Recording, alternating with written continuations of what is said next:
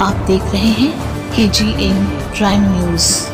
Belagavi ವರದಿ ಹಲವಾರು ವರ್ಷಗಳಿಂದ ಮರಾಠ ಸಮಾಜಕ್ಕೆ ನಿಗಮ ಮಂಡಳಿ ಸ್ಥಾಪನೆ ಮಾಡಿ ಕೊಡ್ತೀವಿ ಹಾಗೂ ಕೆಲವು ಬೇಡಿಕೆಗಳನ್ನು ಪೂರ್ಣಗೊಳಿಸ್ತೀವಿ ಅಂತ ಸುಳ್ಳು ಹೇಳಿ ದಾರಿ ತಪ್ಪಿಸುತ್ತಿದ್ದ ಸರ್ಕಾರದ ವಿರುದ್ಧ ಇವತ್ತು ಕರ್ನಾಟಕ ಕ್ಷತ್ರಿಯ ಮರಾಠ ಫೆಡರೇಷನ ರಾಜ್ಯಾಧ್ಯಕ್ಷ ಶ್ಯಾಮಸುಂದರ್ ಗಾಯಕವಾಡ ಅವರ ನೇತೃತ್ವದಲ್ಲಿ ಕರ್ನಾಟಕದ ಪ್ರತಿಯೊಂದು ಜಿಲ್ಲೆಯಿಂದ ಮರಾಠ ಬಾಂಧವರು ಬೆಳಗಾವಿ ವಿಧಾನಸೌಧದ ಹೊರಗೆ ಸರ್ಕಾರದ ವಿರುದ್ಧ ಪ್ರತಿಭಟನೆ ಮಾಡುತ್ತಿದ್ದಾರೆ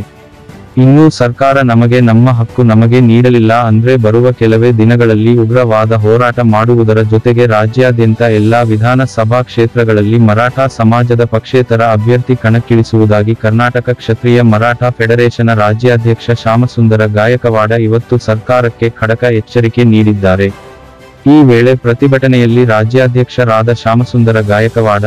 ಸಮಾಜದ ಹಿರಿಯ ಮುಖಂಡರಾದ ಸುಮಿತ್ರಾ ಉಗಳೆ, ಸೆಕ್ರೆಟರಿ ವಿಠಲ ವಾಘಮುಡೆ ಮರಾಠ ಸಮಾಜದ ಯುವ ನಾಯಕ ವಿನಾಯಕ ಭೋಸಲೆ ಮಾಜಿ ಶಾಸಕ ಅರವಿಂದ ಪಾಟೀಲ, ಜಯರಾಮ ಮಿರಜಕರ, ಸುಭಾಷ ಕಾಸಾರಕರ, ಧಾರವಾಡ ಜಿಲ್ಲಾ ಅಧ್ಯಕ್ಷ ಪ್ರಕಾಶ ಟಿಕಪ್ಪನವರ ರಾಜ್ಯ ಪ್ರಧಾನ ಕಾರ್ಯದರ್ಶಿ ಜಿಡಿ ಘೋರ್ಪಡೆ ಧಾರವಾಡ ಜಿಲ್ಲಾ ಪ್ರಧಾನ ಕಾರ್ಯದರ್ಶಿ ಜ್ಯೋತಿಬಾ ಖೈರೋಜಿ, ಮೋಹನ ಜಾಧವ, ವಿಜಯ ಚವಾನ